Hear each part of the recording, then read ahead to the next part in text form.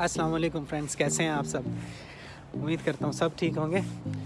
काफ़ी अरसे से वीडियो नहीं बनाई थी। मैं काम में बिज़ी हो गया था और बहुत ज़्यादा बिज़ी हो गया था इस वजह से।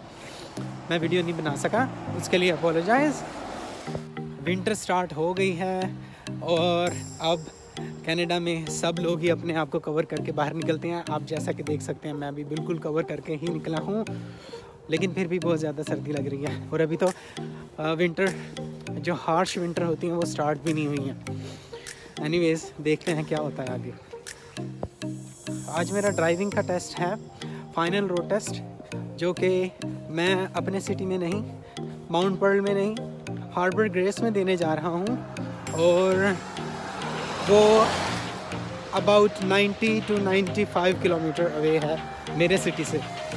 तो मेरा एक फ्रेंड है मैंने उसको एग्री किया है अपने साथ। तो उसके साथ मैं जाऊँगा और जो रास्ते में आ, अच्छे अच्छे मंज़र आएँगे वो भी कैप्चर करके आपको मैं वीडियो में दिखाऊँगा।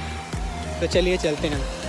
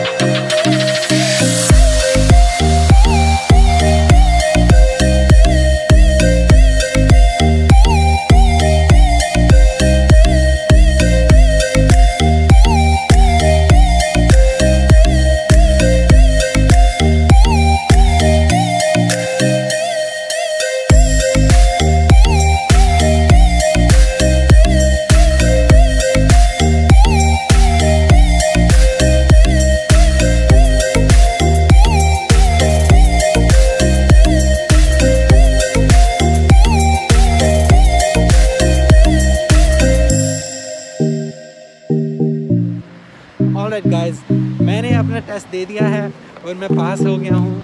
फ़र्स्ट ट्राई में ही, अल्हम्दुलिल्लाह, कोई ज़्यादा प्रॉब्लम नहीं हुई और मैं अब वापस अपने घर की तरफ़ जा रहा हूँ और घर पहुँच के मैं आपको सारा डिटेल्स में बताऊँगा कि क्या प्रोसेस है, जिसके पास लाइसेंस होता है, उसको क्या करना चाहिए और कौन से स्टेप्स हैं। तो चलिए, घर जाकर सारी डिटेल से आपको बात बताते हैं। गाइस मैं आ गया हूँ अपने रूम पे और अब मैं अपना सारी स्टोरी बता रहा हूँ कि मैंने कैसे ड्राइविंग लाइसेंस अप्लाई किया है और कौन कौन से स्टेप्स हैं। एज ऑल नो कि मैं दुबई से आया हूँ और मेरे पास ऑलरेडी दुबई का ड्राइविंग लाइसेंस था already six and half year का ड्राइविंग एक्सपीरियंस है मेरा और मेरे पास पाकिस्तान का भी ड्राइविंग लाइसेंस है तो उसकी बेस पे मैंने कनाडा का ड्राइविंग लाइसेंस अप्लाई कर दिया था। तो कनाडा में अगर न्यू कमर कोई आता है तो उसको सबसे पहले रजिस्ट्रेशन करवानी पड़ती है वो रिटर्न एग्ज़ाम के लिए। अगर रिटर्न एग्ज़ाम आपने दे दिया है तो आपको एक टेम्प्रेरी परमिट अप्लाई कर देते हैं। तो उसमें ये होता है कि आप ड्राइव कर सकते हैं, लेकिन आपके साथ एक फोर इयर्स एक्सपीरियंस्ड आदमी आपके साथ पैसेंजर सीट पे बैठा होना चाहिए। वो उस वक्त होता है जब आपके पास ड्राइविंग परमिट होता है, वो लर्नर परमिट बोलते हैं उसको। तो मैंने आता ही अपनी दुबई वाले लाइसेंस की बेस पे ही लर्नर के लिए अप्लाई कर दिया था। लर्नर के लिए एक छोटा सा एग्ज़ाम होता है रिटर्न रिटर्न टेस्ट कहते हैं उसको। उसमें सब ये रूट साइंस वगैरह और सब कुछ उसको पूछा होता है। तो मैंने वो दे दिया था, वो भी मैंने अलहमदिल्ला फ़र्स्ट टाइम में पास कर लिया था। उसके बाद नेक्स्ट स्टेप होता है कि हमने अपना रोड टेस्ट बुक करना होता है। तो रोड टेस्ट बुक करने के लिए आपको गवर्नमेंट ऑफ़ न्यू लैंड की वेबसाइट पे जाके आपको ऑनलाइन ही बुक करना पड़ता है, वो आपको डेट देते हैं। मुझे सिटी ऑफ़ माउंट पर्ल में डेट नहीं मिल रही थी रोड टेस्ट के लिए, लेकिन मेरे लिए बहुत ज़रूरी था कि मैंने फ़र्स्ट थ्री मंथ्स के अंदर ही लाइसेंस लेना है और सेकेंडली विंटर भी आ रही थी तो मैं ये सोच रहा था कि विंटर से पहले पहले ही मैं लाइसेंस ले लूँ। यहाँ पे एक सिटी है सिटी ऑफ़ माउंट पर्ल्स के बिल्कुल साथ ही है हार्बर ग्रेस वहाँ पे देखा तो वहाँ आज की डेट अवेलेबल थी तो मैंने सोचा कि मैं आज की बुक कर लेता हूँ। तो वहाँ जाकर मैं टेस्ट दे आऊँगा। As long as you are in Newfoundland and Labrador you can take your road test any of the city within the province तो मैंने वो रोड टेस्ट बुक कर लिया और मैं आज टेस्ट पास करने के बाद अलहमदिल्ला आपके सामने खड़ा हूँ। टेस्ट में टेस्ट क्वाइट डिफ़िकल्ट था मेरे लिए। वो इसलिए कि सबसे पहले उन्होंने पार्किंग वगैरह लगवाई थी गैरेज पार्किंग जिसको 90 डिग्री पार्किंग भी कहते हैं। और दूसरा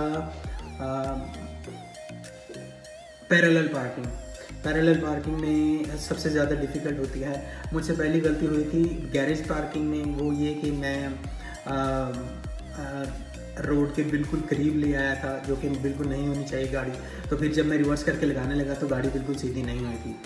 तो मेरे एग्ज़ामिनर ने मुझे कहा कि आप एक दफ़ा दोबारा से कर लें। फिर मैंने वो दूसरे ट्राई में क्लियर कर लिया था। और पैरेलल पार्किंग जो सबसे मुश्किल होती है, वो मैंने फ़र्स्ट टाइम नहीं कर लिया था, क्योंकि मुझे उसका एक्सपीरियंस है दुबई में मोस्टली पैरेलल पार्किंग ही है तो मुझे अंदाज़ा था। उसके बाद करने, वो पास करने के बाद मेरे एग्जामिनर ने मुझे कहा कि आप पास हो गए हैं कंग्रेचुलेशंस तो आगे आपका रोड टेस्ट स्टार्ट होता है। वो सिर्फ़ पार्किंग टेस्ट पास करने की मुझे कंग्रेचुलेशन कर, बोल रहा था। तो वो पास करने के बाद थोड़ा सा कॉन्फिडेंस गेन हुआ, फिर मैं रोड पर आ गया। रोड पर आके मुझसे एक गलती हुई थी, शायद मैंने शोल्डर चेक नहीं किया था। जब हम राइट या लेफ़्ट टर्न कर रहे होते हैं तो मिरर्स में देखने के अलावा हमें अपना शोल्डर भी लाजमी चेक करना होता है, ताकि हमारे ब्लाइंड स्पॉट पे अगर कोई पेडिस्टेरियन है या बाइक वाला है या गाड़ी भी है, जो कि हमें नहीं नज़र आती मिरर्स में तो उसको देखना लाजमी होता है। तो मैंने एक टर्न पे शायद नहीं देखा था तो उसके बाद वो मुझे हाईवे पे ले गया। हाईवे ज़्यादा ख़तरनाक होती हैं, वो ज़्यादा स्पीड में गाड़ियाँ चल रही होती हैं तो वो डेंजरस होता है। तो हाईवे पे मैं बिल्कुल परफेक्ट गाड़ी चला कर आ गया था। तो वहाँ से क्लियर करने के बाद फिर मेरे एग्जामिनर ने कहा कि चलो वापस चलते हैं हम लोग फिर वापस आ गए। वापस आते वक्त ही मेरा एग्जामिनर मुझसे बातचीत करना शुरू हो गई कि हाँ कैसा लगा है आपको कनाडा कितना अर्सा हो गया है ये वो है जब एग्जामिनर ने इस तरह की बात करना शुरू की मेरे साथ तो मैं आ, थोड़ा सा अंदाज़ा हो गया था कि मैं पास हो गया हूँ। तो मैं जैसे ही वहाँ पहुँचा तो वो मुझे अंदर ले गए और उन्होंने कहा कि ये ये आपकी गलतियाँ थी और आपको congratulation that you have been passed तो वो मोमेंट मेरे लिए बहुत बहुत ही ज़्यादा प्राउड वाला था। कनाडा में ड्राइविंग लाइसेंस लेने के लिए ये मेरा एक्सपीरियंस था जो मैंने आपके साथ शेयर कर दिया है। तो अगर आपको किसी भी किस्म की इन्फॉर्मेशन चाहिए हो तो कमेंट्स में जाकर आप लिख दीजिए। मैं पूरी कोशिश करूँगा जवाब देने की इन हर कमेंट का जवाब दूँगा और मेरी वीडियो अच्छी लगी हो तो लाइक कीजिएगा और सब्सक्राइब करना मत भूलिएगा। तो फिर मिलते हैं इन अगले वीडियो में। तब तक के लिए अल्लाह हाफिज़।